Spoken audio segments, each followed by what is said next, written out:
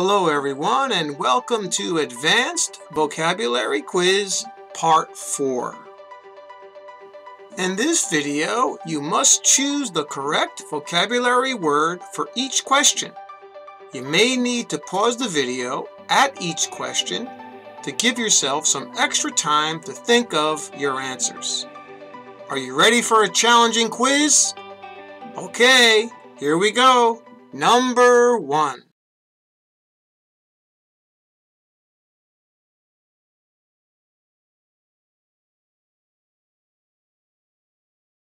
And the answer is he couldn't resist embellishing his story a little about his minor and harmless traffic accident. All right, in this case, we need embellishing, which means to add something to make it better or maybe more interesting. Okay, maybe exaggerating. And that's what we're talking about here. Okay, number two.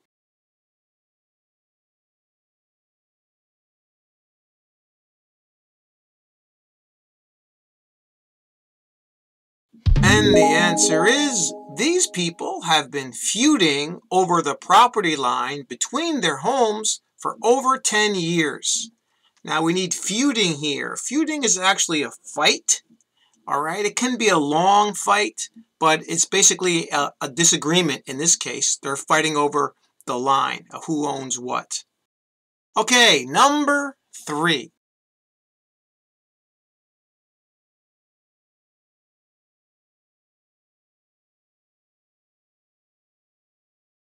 And the answer is a poll was conducted by the company to gauge consumers' attitudes. Now, to gauge something means to make a judgment about something or maybe even to measure something. And in this example, they used a poll to judge or to measure the consumer's attitudes. Okay, number four.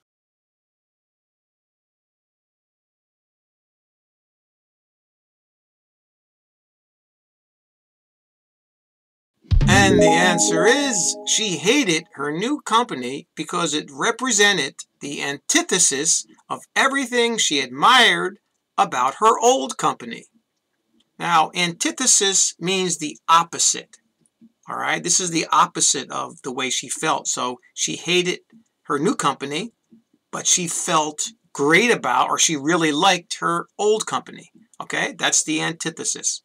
All right, number five.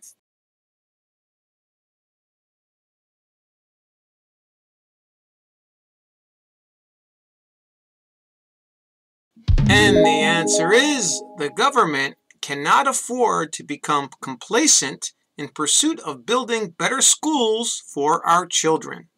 Now, to be complacent about something is to be satisfied with the way things are and let's say you're not willing to change things because of that. And in this case, the government, right, they were satisfied with the schools the way they were. And this person is saying that they shouldn't be. They can't afford to be satisfied. They need to build better schools. Okay? All right, number six.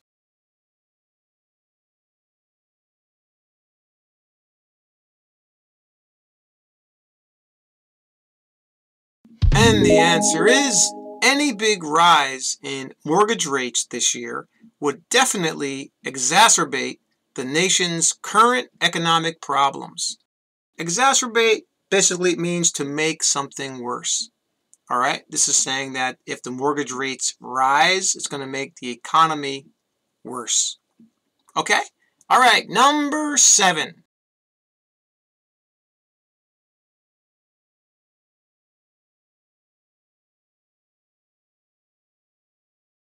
And the answer is he did poorly this semester, and his parents will surely reprimand him when he shows them his report card. Okay, reprimand with the way it's used here, okay, it basically means to yell at somebody or to speak at them in an angry or critical way. Okay, and because of his bad report card, they're going to yell at him. Okay, that's what it means. All right, number eight.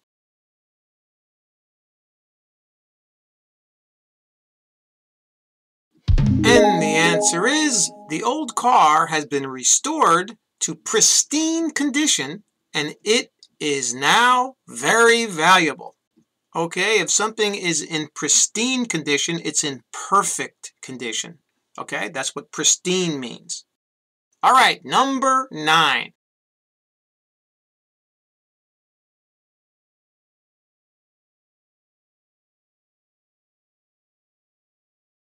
And the answer is she pondered his marriage proposal for weeks before she made up her mind. All right, to ponder something is to think about something carefully. All right, that's what it means to consider something carefully. All right, the final question, number 10.